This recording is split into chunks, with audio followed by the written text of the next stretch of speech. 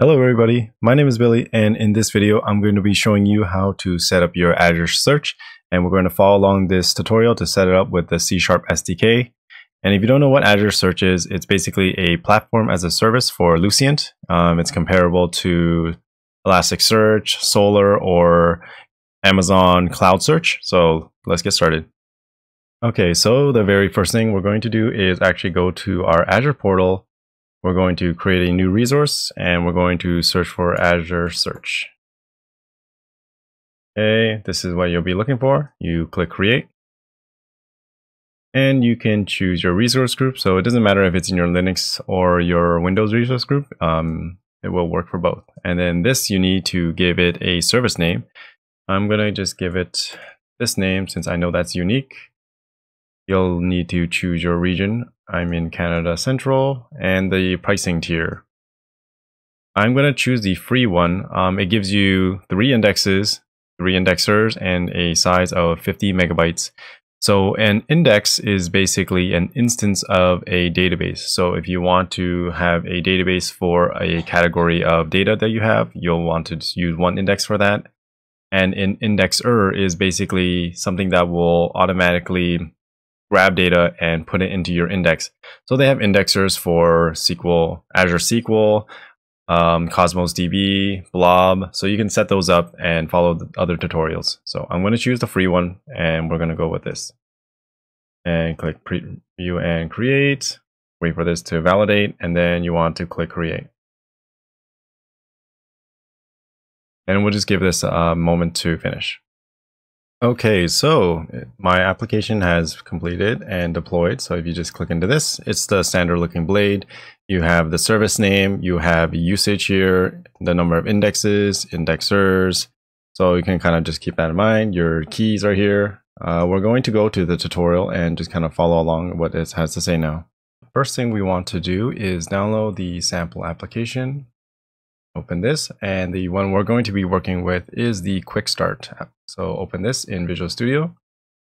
And i'm just going to quickly go over the side of what uh, the tutorial is about and then we're just going to dive into the code and i'm just going to show you inside visual studio itself. We're going to get the keys and the urls to access so that we have our configuration set up. This tells you to download NuGet. Uh, we're going to actually create the index. We're going to upload some documents and we're going to run some queries on it Okay, so let's move on over to Visual Studio. So once you've downloaded the solution, open it up in Visual Studio and you should see something like this. What we're going to do is first take a look at hotel and address. So these are the models that it's going to be shaped and basically going to be your index. So your hotel is a simple POCO with a bunch of attribute decorators um, you can see here. And also your address, which is a object is also decorated with this. So you, can get as complex as you want. And let's take a look at the hotel object. You can see you need a key and then you can do things like is filterable. So I have a quick thing to kind of explain what is uh, filterable, searchable. Searchable is actually if it can be discovered, so it's pretty obvious. Um, is sortable and is facetable. So we're going to go back to the browser and I'm going to show you a quick diagram. Okay, so this is the diagram I wanted to show you. It's from a blog that I found and I will put that in the link description below if you want to read that. But basically, you have a pretty standard shopping website. You have categories, which are equivalent to indexes. You have filters, which are going to represent the is filtered. You have sorting, which is is sorting, and facets, which is is facetable. And First, let's start off with filters. So filters are very simple. You have a clause you want to kind of go by. You have a date you want to have. Um, sorting is also pretty simple. You want to ascend or descend by dates, amounts, relevancy in this case.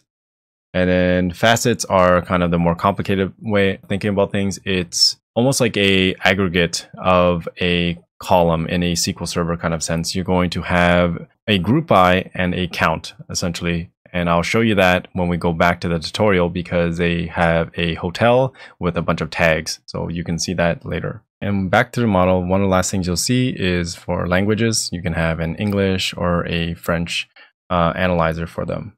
So let's close this and actually talk about these little helper What they've done here is just overrided the toString so that when we do a search and the value returns not empty or null, then we can actually print it on the screen. So that's just what these helpers are. So when we go into the program, we can actually see what it does. So let's start setting up everything we need to get this working. So what we're going to do is, since it's going to read from the app setting, let's fill in all of the missing ones. So we need our service name, and in this case, it's going to be Billy Tech and we're going to need to grab the admin key and the index name. So the index name is whatever you want it to be. They've already populated it with the hotel quick start. So I'm going to grab my admin key right now. Go here and I'm going to click keys. Grab the primary key. And I'm going to just paste that in here. And I'm also going to do one other uh, refactoring step, which I'm going to have a query key because in one of their other tutorials, they've actually done this, but in this one, they have not. And I just wanted to show you uh, what that is about. So you basically want to have a query key so that whenever you're using your index, it doesn't actually have the ability to delete or do any of that stuff. So you would have one key to do the setup and then use this subsequent key to kind of manage all your queries afterwards. So close this and back to the program here. And what it's going to do is firstly do a delete index if exist. And you can see just a exist and delete just so that when you do a create, it'll do the cleanup for you. And then let's look into here. So the create index just needs an index name and we know that's going to be hotel dash quick start. And it's going to build our model. So that's the object that we had here. And then afterwards, it's just going to create that definition for us and back here. And then what it's going to do afterwards is it's going to upload a bunch of data. So remember, if you have your indexers like your Azure Search or Azure SQL indexers, you don't have to worry about this step. But in terms of learning what it does, it's very easy to actually see all the models that it's going to try to upload. So let's go back. And then the final thing we're going to do is we're going to run a bunch of different queries. So you can see that as it would go along. So I'm going to put a debugger here just so we can watch that go. And we're going to go to the very top and we're going to actually just run this now. Actually, so before we begin, I'm going to actually utilize that query um, API key that we had earlier I'm just going to copy this and just start renaming things to index. So we're going to create a index client. And that means that the object has to be an index client. It's just a var. And the return has to be an index client. And I'm just going to leave these names kind of the same just so we don't have to waste time renaming everything. And the only additional field we need in our index client is the index name. So I'm going to scroll here I'm going to grab this index name. I'm going to pass it in here. And we're going to just pass it here like this. And that's perfect. So we're just going to take this new method that we have. I'm going to replace uh, the one we used to run the query. You're going to still need the admin key to do the uploads, but the query ones, we can use this. So we're going to do that, and we're going to just pass in the configuration. Perfect. So now we have everything going. So let's execute. I have a debugger on delete. Let's run this application. So first thing it's going to do is create the service client and use that service client to see if we have an existing index. And if we do, which I ran this before, it will do the delete command. So let's go out of this. And then it's going to use that same service client to take our hotel model to create an index. And then from there, it's going to upload our documents. So it's going to use that um, service client to grab an index client from our index name to upload all of these documents. So it's going to create an action and this action contains all of the data. Then it will submit that and give it a two second wait to kind of wait for the index to happen. All right. And the final thing it will do is actually just run some queries for you guys. So now that everything has been indexed, I'm just going to step through this.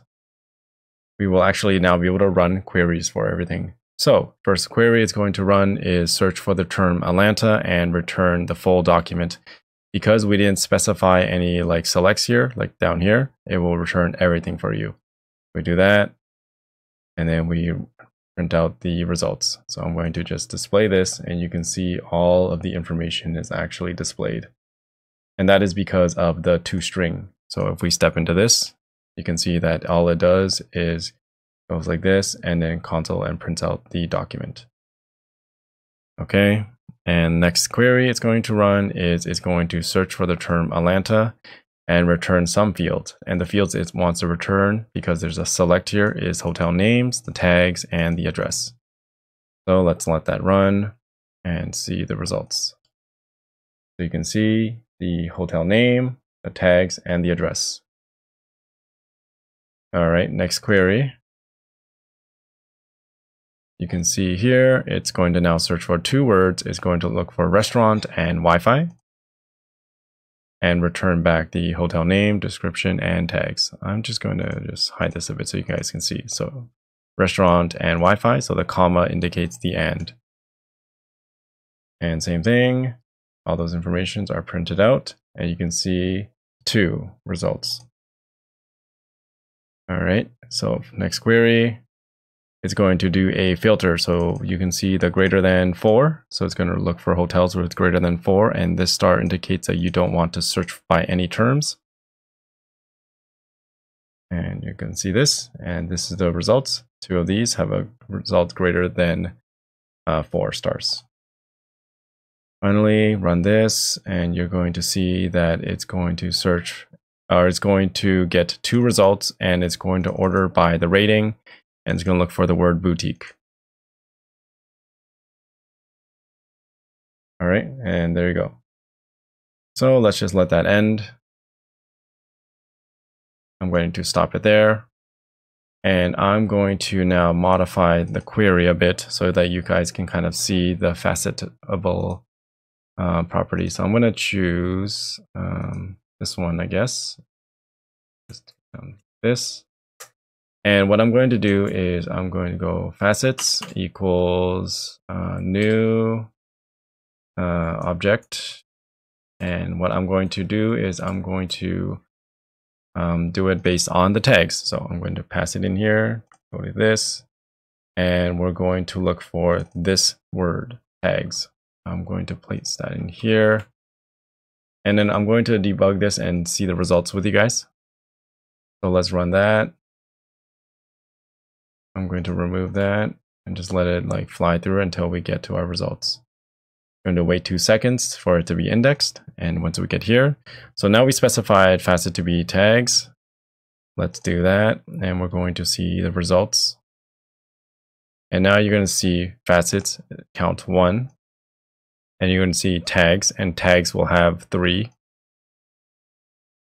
And you're going to see what it has. So tags are air conditioning, bar, and continental breakfast. And you're going to see there's one here, one here, and there's one more here. So if we change the model itself, we can actually start playing with this. So if you add more air conditioning tags, you're going to see that those counts for like air conditioning will become two or three, depending on what you change it to. So I'm just going to exit out of this. And I just want to lastly go over some quick documentation that will help you guys learn a little bit more.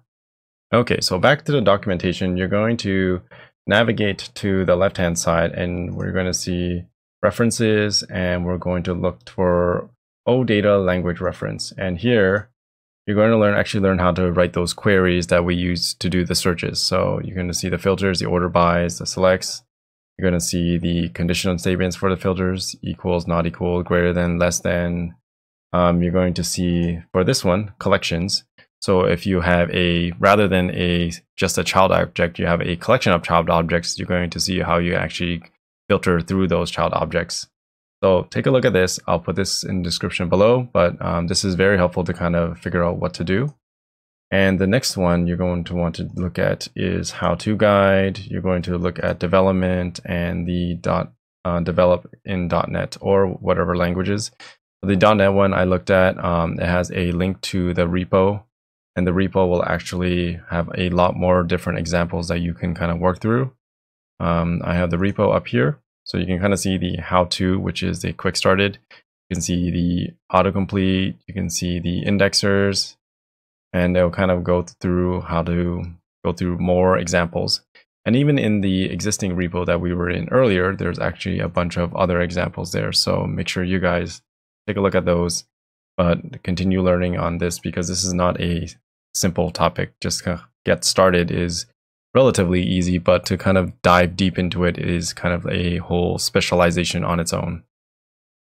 And that's end of this tutorial. I hope you guys learned something from this. I hope you guys found it useful. I wanted to just keep this as short and concise as possible to show you some of their documentations that they had to just get started. I myself am not an expert in these search technologies, so I hope this was helpful for you to kind of get started as it was for me.